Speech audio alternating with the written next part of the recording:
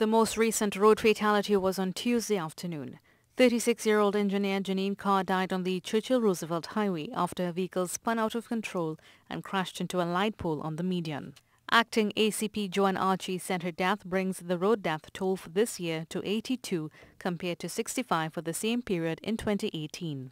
For this year, over 42,710 traffic tickets were issued to drivers, of which 16,435 were for exceeding roadway speed limits. The TTPS is appealing to all road users to practice safe and responsible road use to prevent such tragedies from occurring.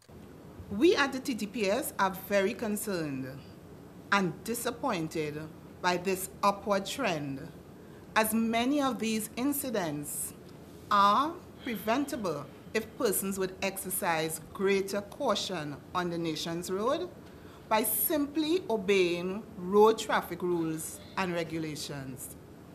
Road Safety Coordinator Brent Batson said the TTPS will be lobbying the Ministry of Works and Transport to include in proposed amendments to the Road Traffic Act the use of rear seatbelts.